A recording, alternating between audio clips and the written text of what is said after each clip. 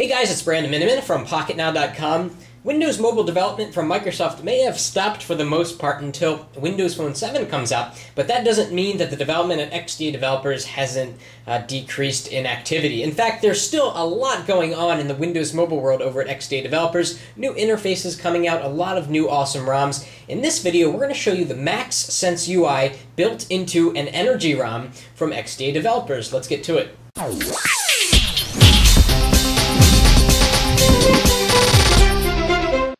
Now, we've already covered the MaxSense UI in a previous video back in May, but there have been a lot of changes since then, so we wanted to film another video and show you what has changed. So let's start off here. We're going to unlock the device, and this is the unlock screen taken from the HTC HD Mini, so if we had extra notifications, we would see them down here, but we can slide to unlock.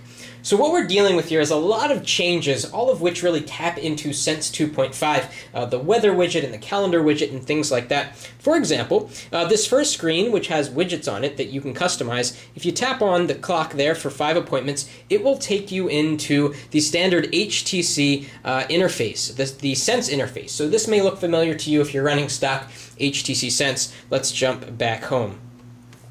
The same applies to the calendar widget and let's say the weather. If you tap on the weather, you're taken into the beautiful Sense tab, uh, the weather interface here with the weather animations. Very nice looking, and all of this is customizable. We can also swipe to the left to see uh, some widgets that are over here, and this is a really cool widget. It ties into the HTC Favorite People uh, module so that you can flip through and see your, your favorite people, and from here you can choose to call them, text message them, send them an email right from this little cool widget.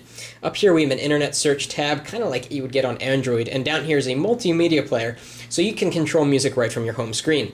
Now if we go to the other direction, we have a variety of toggle switches, turn on Bluetooth and Wi-Fi, Again, all of these are customizable. I'll talk about that in a second. But first I want to talk about what's going on up here in the taskbar. We have the Start Menu button, which sometimes is difficult to open. There it goes. Uh, you can also, of course, use the Start Menu button on your HTC HD2. But all of these other icons are very easy to use, so we can very, very quickly turn on and off Wi-Fi or Bluetooth. Of course, you could do it from this screen as well, too. So if we tap on the Wi-Fi icon, we should get a pop-up that says Wi-Fi off or Wi-Fi settings.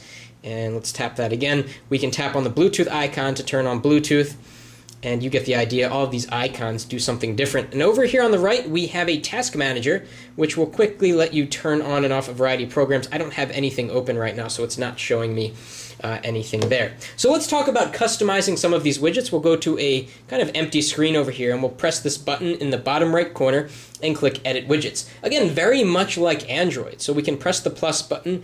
Let's say we want to add a clock, an analog clock.